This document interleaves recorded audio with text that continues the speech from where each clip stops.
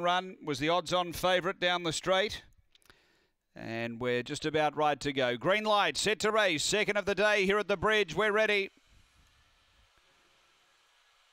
They're set and racing. Good speed. The reserve Rockstar Sid came out quickly. Finnis Whisper out smartly as well, and then out of nowhere, they're the first three. A couple away, Alinga Canis, and back at the tail is Vanilla Slick. Leader is Rockstar Sid, rolled away from the rail, and Finnis Whisper takes the fence running.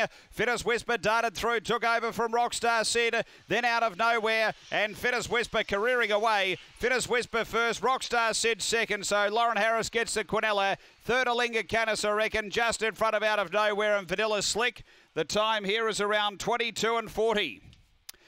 After the running of race number two, and uh, too good here, the fave, Finnis Whisper. Number eight uh, for Lauren Harris has been too good.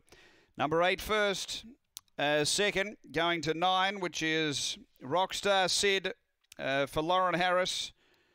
And third to two, which is Alinga Canis for Yvonne King. So it's 8 9 2. One runs fourth after uh, race number two here at Murray Bridge Greyhounds.